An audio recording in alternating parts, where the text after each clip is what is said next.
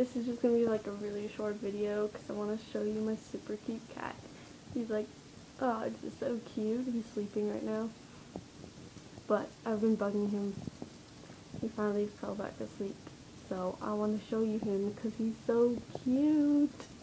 I don't think if you'll be able to see him that well. Can you see that? I hope so. Probably gave the camera a really, really weird look because he tends to do that when I try to take pictures of him because he doesn't like getting his picture taken.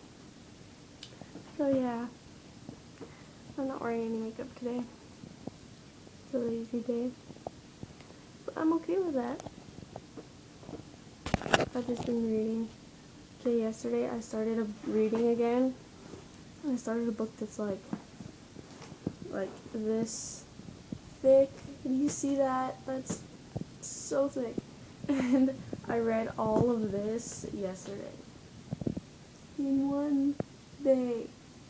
I didn't even start reading till like the evening.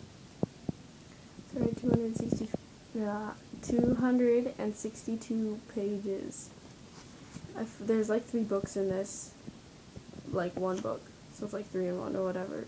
But I finished one of the books, and there's 775 pages, I think. So yeah, I got a lot of reading to do.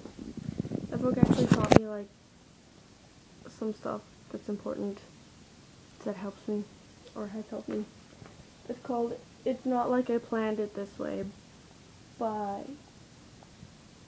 Phyllis Reynolds Naylor. I think that's how you say it. I will probably put in the description if you want to read it.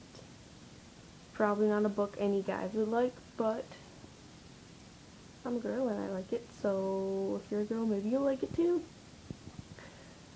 But yeah. Anyways. I think I'll go now. Bye.